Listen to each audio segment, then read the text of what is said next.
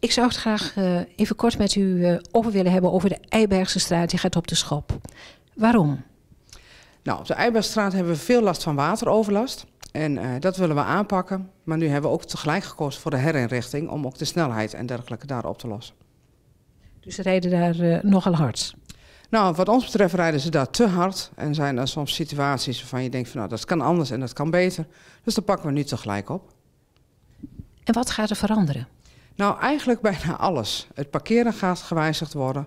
Er komt een heel nieuwe riolering komt erin. Dus uh, als goed is gaat het water nu versneld uh, weg. Er komt nieuwe beplanting in, nieuwe parkeervakken. En ja, we krijgen daar van die uh, fietssuggestiestroken, waardoor het lijkt alsof de weg wat breder en smaller is, waardoor die weggaat. Bij de Kruislandstraat. En dan gaan we eerst zeg maar tot aan de zonder een straat, daar is het eerste stuk wat we gaan doen. En wat je dan ziet is dat zeg maar, uh, dit is nu zoals het oud is. En dit is zoals het gaat worden. Dus met fietssuggestiestroken, veel meer groene stukken en veel meer parkeerruimte. Dus dat daar op een nette manier uh, geparkeerd kan worden.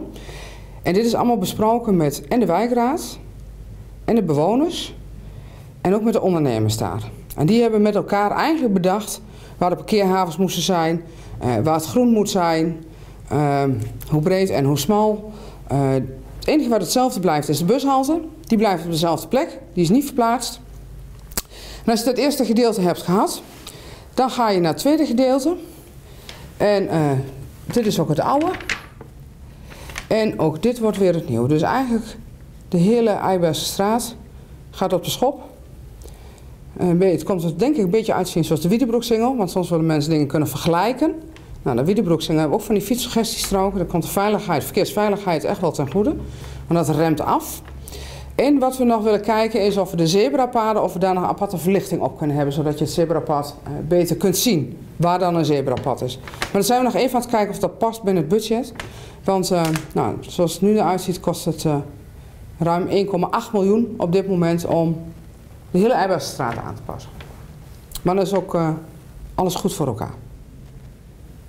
Nou, we gaan het in fases doen. Dus we beginnen eerst zeg maar, met vanaf de Kruislandstraat tot aan de uh, Spoelsestraat. Wordt eerst op de schop uh, gedaan. Dus we gaan dat in gedeeltes doen, zodat de ondernemers zo min mogelijk last hebben. Maar ja, het zal altijd een keer zo zijn dat het even wat minder bereikbaar is. Het moet eerst slechter worden voordat het beter wordt.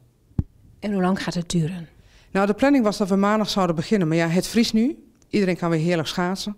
Maar dat betekent dat wij even niet de grond in kunnen. Dus zoals het er nu naar uitziet, beginnen we of een week later of een week daarna op 26 februari.